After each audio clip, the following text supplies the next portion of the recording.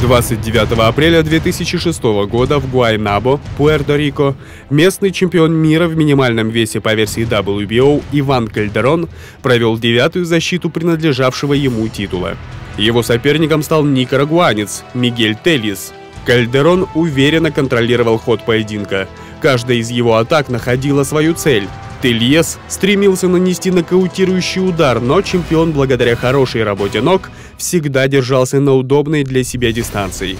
В девятом раунде над правым глазом претендента открылось серьезное рассечение и рефери остановил бой по рекомендации доктора. Досрочная победа Ивана Кальдерона техническим нокаутом.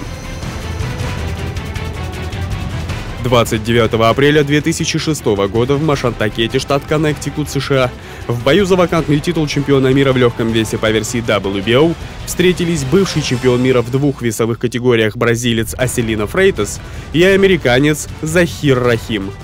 Начало поединка прошло с небольшим преимуществом бразильца. Аселина был активнее и точнее Захира. Однако ближе к середине боя Рахим взвинтил темп и все чаще доставал голову соперника точными ударами. Финальные раунды запомнились конкурентной борьбой с многоударными разменами, в которых было сложно отдать кому-то преимущество. В итоге же разделенным решением судей победа досталась Аселина Фрейтасу.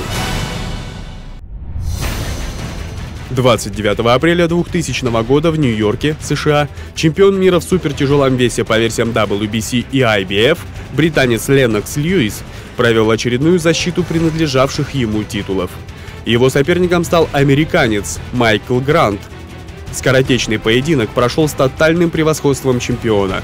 Уже в первом раунде Грант трижды побывал в нокдауне, но поднялся и с трудом достоял до завершения трехминутки.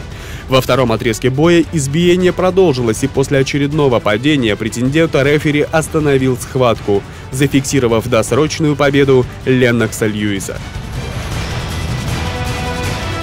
29 апреля 2012 года в Донецке чемпион мира в полусреднем весе по версии WBA украинец Вячеслав Сенченко вышел на ринг, чтобы провести четвертую защиту принадлежавшего ему титула. Его соперником стал бывший чемпион мира в первом полусреднем весе по версии IBF американец Пол Малиньяджи.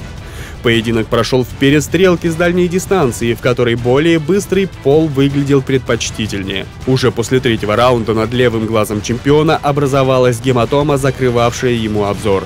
Ближе к восьмой трехминутке глаз Вячеслава закрылся полностью, и Малиньяджи наносил удары именно в это место, что и заставило рефери остановить бой. Досрочная победа Пола Малиньяджи техническим нокаутом в девятом раунде.